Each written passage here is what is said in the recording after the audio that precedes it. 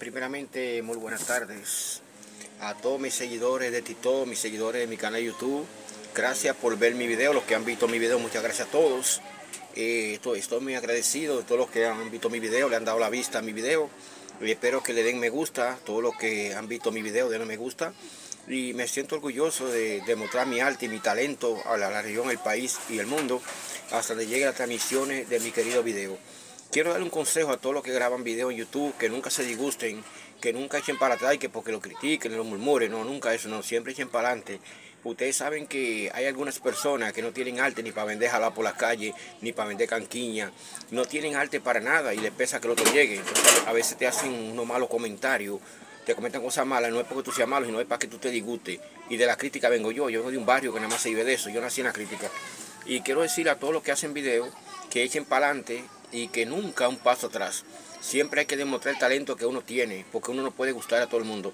Estoy muy agradecido de Dios y agradecido de una buena familia que tengo y tengo buenos deseos en caso de llegar a ser eh, un comediante reconocido en el mundo entero. En caso de que mi canal de YouTube logra tener muchos suscriptores, que no hacen falta suscriptores, los que le han dado vista, suscríbase al canal. Y quiero decirle a todos de que es un orgullo estar aquí en YouTube. Eh, que Dios me le dé mucha bendición a todos.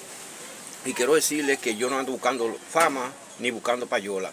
Simplemente uno no puede ser bonito para todo el mundo.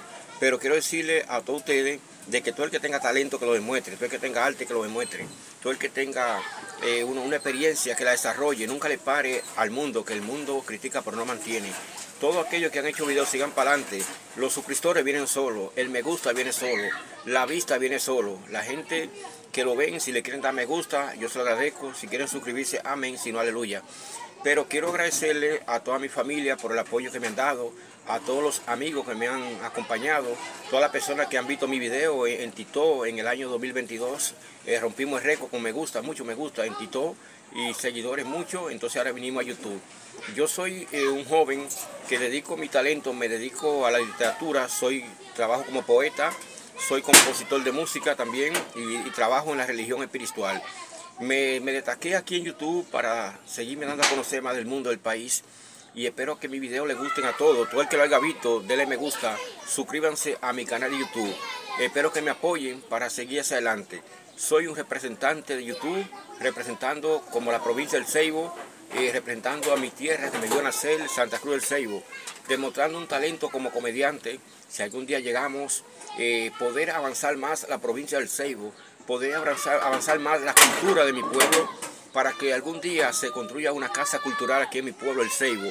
Por eso es que todos los que tenemos talento tenemos que demostrarlo y llevarlo a las redes sociales.